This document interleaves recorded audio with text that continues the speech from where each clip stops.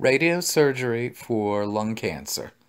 This is one of a series that can be found on the website aboutcancer.com of cancer videos directed to issues related to various types of cancer. This is on the use of highly targeted radiation, or what would be called SBRT or SABR, for early stage non-small cell carcinoma of the lung. Only about 16% of lung cancer patients present as an early stage, and the survival even in this group is poor, 55% in the national data. Part of the problem is the patients often are ill, they have underlying lung disease, patients tend to be older, the median age is 70. According to the current NCCN treatment guidelines, and as I dictate this in February of 2017, the current guidelines are version 4.2017. But in these guidelines for a patient with an early lesion, the standard recommended treatment is surgery, a lobectomy with a node dissection. But if the patient's medically inoperable, they do recommend definitive radiation, including SBRT or SABR. And for patients with T2 lesions, as long as the lymph nodes are negative, if they are not surgical candidates, the guidelines for lymph node negative include SBRT or SABR. Again, if you look at survival curves for stage 1, they're not very good, 51% in another national trial. And then if you look at the surgical staging, if the clinical stage 1 patient, the 5-year survival, 50 to 43%, clinical means based on x-ray findings. The pathologic survival for stage 1 is better, as noted, but this is because they've eliminated people who were found to have lymph nodes involved. And I would point out that most of the survival comparisons with radiation should be compared to clinical stage 1. If you look at overall radiation for inoperable stage 1 lung cancer, the five-year survival rate is poor. If you look at SBRT, stereotactic body radiotherapy, which is highly targeted radiation, where the treatment can now be given in just a few number of dose fractions, usually 1 to 5. The ASTRO has defined SBRT as using very large doses per fraction. And the technique requires detailed targeting, immobilization, accounting for motion and movement. And it may be necessary to do special procedures to get the motion of the lung tumor under control. The idea is to have the radiation conformal, which means targeted directly around the tumor. And if you compare targeted radiation with more conventional radiation, you can see in the diagram with conventional radiation basically came in one side and went out the other. If you can do highly targeted radiation with small number of fractions, the primary tumor control, as you note here from the RTOG 0618 trial, is very high. And again, the idea is if you give small fractions of a large dose, you have a larger biologic effect. So the conventional dose 30 treatments of 2 gray uh, calculates to a BED biologic dose in the 70s and 80s. If you give 3 or 5 fractions of a much larger dose, the BED or biologic equivalent dose is much higher, well over 100. And as I'll point out, you need to get over 100 to get the real benefits of SBRT. We often treat these patients with a machine called tomotherapy. Tomotherapy is basically a hybrid machine where linear accelerator is built inside a spiral CT. Here's a typical patient treated with SBRT on a tomotherapy. A small adenocarcinoma in the left lung. You can see the PET scan, it lights up. The radiation plan was highly targeted on that small area, and the PET scan a year later shows nothing in that area. Another patient with a small squamous cancer in the left upper lobe you can see the small lesion on the PET scan. You can see the radiation target from the tomo. And you can see eight months later, as all the PET scan shows, is some scar tissue or fibrous tissue at that site. The technique is similar to this. We use the CAT scan and PET scan images to develop a target called the GTV or gross tumor volume. Then you use multiple images to account for movement and create a larger target called the internal target volume or ITV. Then you ask the computer to add a margin around this target or expand the target, usually by 5 millimeters, and this is called the PTV, the planning target volume. And you want this as small as possible. And again, you can rotate the images around and look at this in any dimension. And then you add in the other organs to uh, measure the dose of radiation to normal structures. And the computer will track the dose to these other normal structures to ensure they are protected from too high of a dose of radiation. So here's in fact this actual patient, an 80-year-old man, 80 man with a small adenocarcinoma in the left upper lobe. Because it was somewhat close to the mediastinum, we used the lower dose, 10 gray times 5. You can see the PET scan before, it's bright yellow. You can see the SBRT target, and you can see the PET scan two months later. There's just a little scar tissue left at the site of the tumor. We also use the CyberKnife, which is ideal for this treatment. The CyberKnife can really account for lung motion. With the CyberKnife, it's often necessary, however, to place a fiducial or a little metal clip. And there was some risk of complications from placing that. On the panels on the left, the needle has gone into the tumor, and there's an air leak or a pneumothorax, and part of the lung collapses. On the images on the right, with a needle uh, inserted into a tumor, you can see some bleeding into the lung afterwards. Nevertheless, the CyberKnife is ideal for radiosurgery. Here's a typical CyberKnife case. You can see on the PET scan the bright yellow spot in the right lung, and two months later on the PET scan is all you see is the clip where the tumor was before. And so the question is, are the results with SBRT or SABR uh, better than conventional radiation? And in fact, have they gotten so good they're as good as conventional surgery?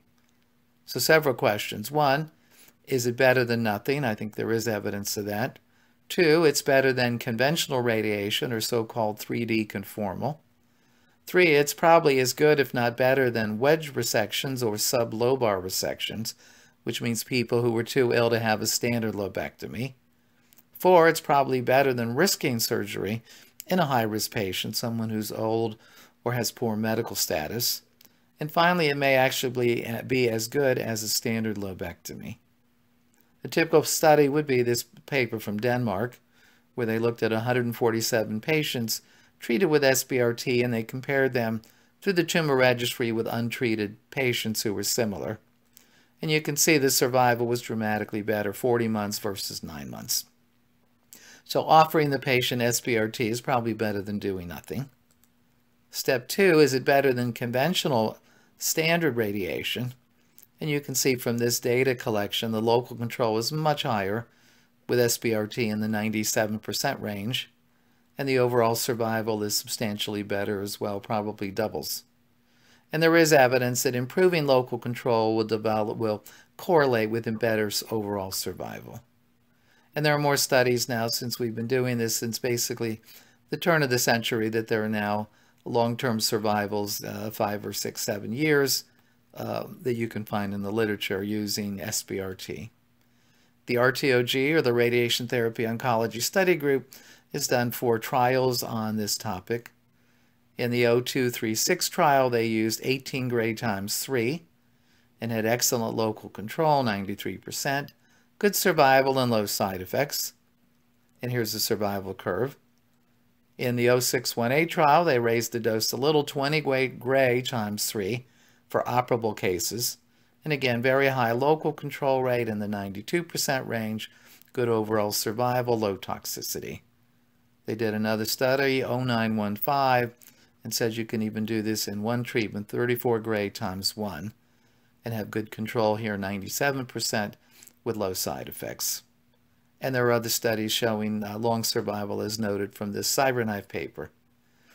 There's also evidence that uh, this may be better than a wedge resection. This paper from Grills, published in 2010, if you look at the comparisons, the local regional control with SBRT was better than doing a wedge resection, and the overall survival was basically the same.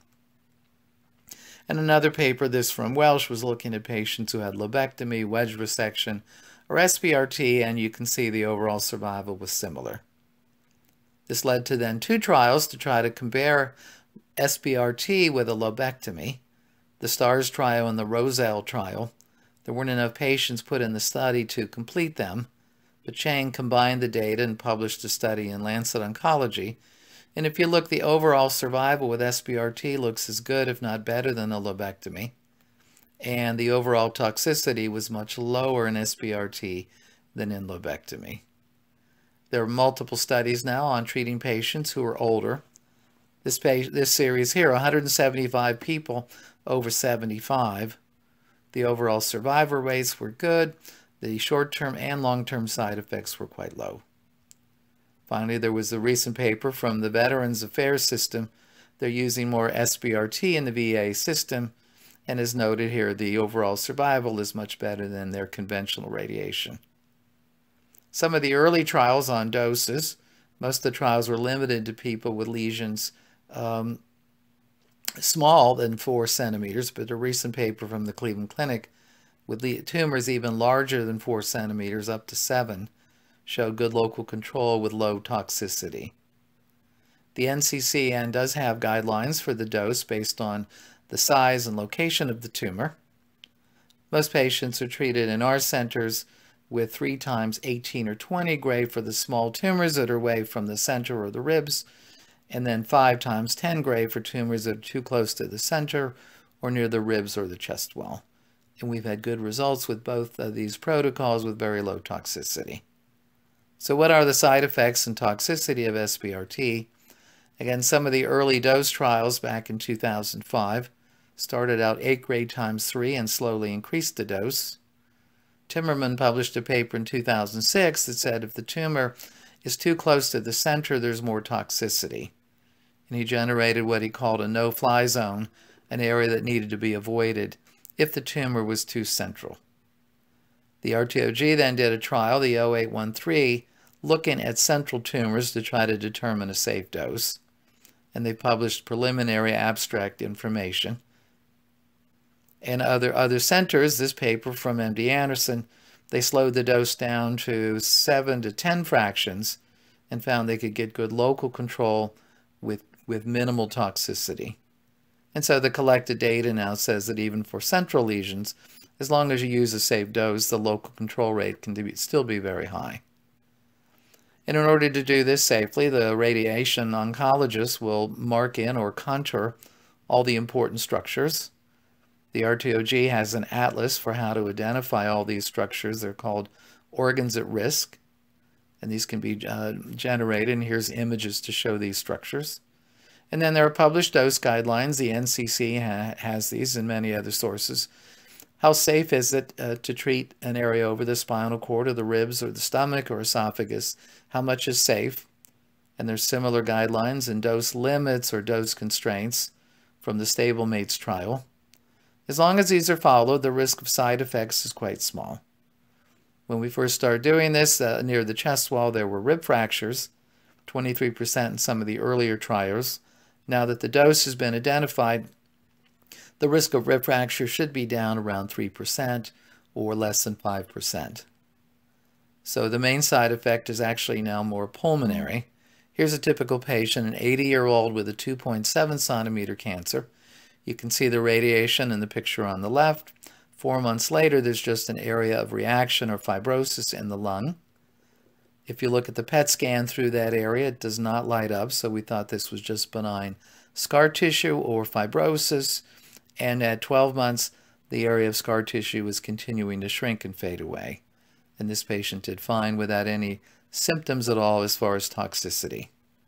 They're trying again to have a randomized trial to compare in high-risk patients either limited surgery or SBRT. They define high risk as people with poor pulmonary function or people who are older with poor pulmonary function. The NCCN guidelines is published, as I say, February 2017. They come up with several conclusions about this. One, they think SBRT has primary control rates and survival that compare to lobectomy and are definitely higher or better than 3D or conventional. They think in non-randomized trials, SBRT is an option if the patients cannot tolerate a lobectomy and are definitely comparable to a wedge resection, and I think probably better. Number three, in partially completed randomized trials that we've discussed, the outcome are similar to that with a lobectomy and definitely with lower toxicity. That in order for this to be effective, intensive regimens, which means a BED, biologic dose, over 100 is necessary. For central lesions, it's necessary to limit the size of each fraction, and rather three treatments, the radiation should be given in 4 to 10 fractions. And they interpreted the RTOG 0813 trial to say that 10 gray times 5 appears to be safe, and that's what we've been using. And that most commonly the limits have been up to 5 centimeters, but larger lesions can be treated safely if the dose constraints are met. And finally, if you look at survival data that was used in the stablemate trial, the collected data for SBRT for these stage 1 cancers, 76 up to 95%, appears to be as good as not, if not better, than the available data on surgical patients, as noted on this table. Finally, more information can be found about radiosurgery for lung cancer on the website aboutcancer.com.